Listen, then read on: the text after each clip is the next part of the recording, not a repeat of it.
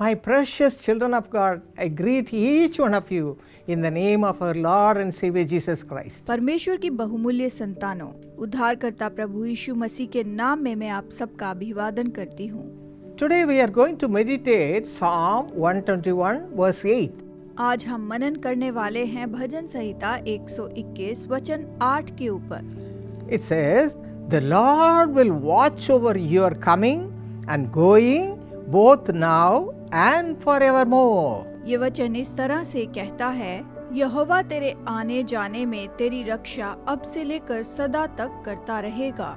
The lord will guide us when you go out or coming in all the time he will be with you and guide you परमेश्वर हमारे आने जाने में हमारी रक्षा करेगा और हर समय वो हमारे साथ में रहेगा। How we can receive such a blessed experience in our lives? हमारे जीवन में हम ऐसे धन्य अनुभव को कैसे प्राप्त कर सकते हैं To receive that blessing, we have to do one thing. इस आशीष को पाने के लिए हमें एक काम करना होगा If you read Psalm 121, verse 1, it says, When I lift up my eyes to the hills, to the Lord, He will do everything for me. यदि आप भजन संहिता 121 वचन एक पढ़ेंगे तो ये कहता है मैं अपनी आँखें पर्वतों की ओर लगाऊँगा मुझे सहायता कहाँ से मिलेगी Immediately He'll hear my cry and come and help me.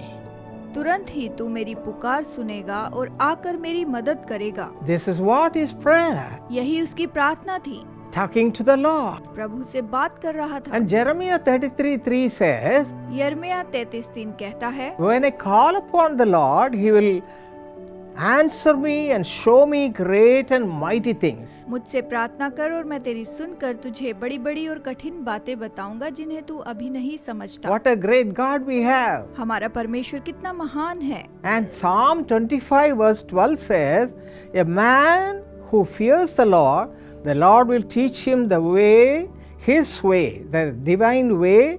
And as per the verse psalm 128 verse 1 he shall be blessed. भजन संहिता पच्चीस बारह ये कहता है वो कौन है जो यहोवा का भय मानता है? यहोवा उसको उसी मार्ग पर जिससे वो प्रसन्न होता है चलाएगा। ईश्वरीय मार्ग भजन संहिता 128 वचन एक के अनुसार वो व्यक्ति धन्य है। So we should have practice of talking to the lord that is prayer.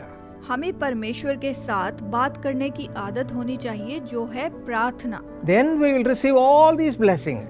तब हम ये सारी आशीषें पा सकते हैं If you read the life of David in the Bible, he had to go through lot of struggles and pain because of King Saul. अगर आप राजा दाऊद के जीवन का अध्ययन करें तो आप ये देखेंगे कि शाउल के कारण उसे बहुत सारी मुश्किलों में से होकर जाना पड़ा King Saul wanted David to be killed. Saul चाहता था कि दाऊद को मार दिया जाए He was so angry with him. वो उस पर बहुत क्रोधित था But David was so careful to be in the presence of God all the time and to, and to come out of all the struggles he had because of Saul. Dawood हमेशा परमेश्वर की उपस्थिति में रहता था और शाउल की सारी मुश्किलों में से वो बाहर आता रहा As we read in Psalm 23, he says, The Lord is my shepherd, I shall not want. भजन संहिता अध्याय 23 के अनुसार उसने कहा यहोवा मेरा चरवाहा है मुझे कुछ घटी ना होगी। My friends let also do the same thing मेरे दोस्तों आइए हम ऐसा ही करें। We should keep God almighty as our shepherd सर्वशक्तिमान परमेश्वर को अपना चरवाहा बना ले। Should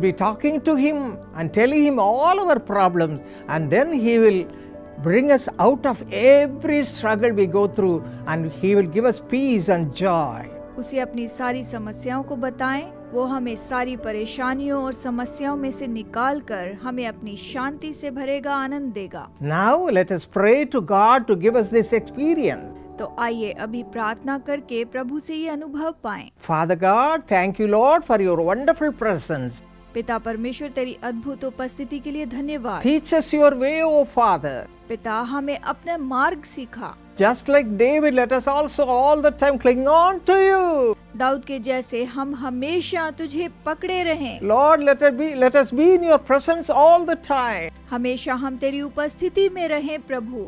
Give us grace to have you as our shepherd अनुग्रह करके तू हमारा चरवाहा बन and lead your children a beautiful way from this day onward अब से लेकर तू अपने बच्चों की सुंदर रीति से अगुवाई कर give them grace to cling on to you in prayer अनुग्रह कर कि तुझे ये प्रार्थना में हमेशा थामे रहें bless them and guide them lord इन्हें आशीष देकर अगुवाई कर। In Jesus name we pray यीशु के नाम में प्रार्थना मांगते हैं। आमेन आमेन।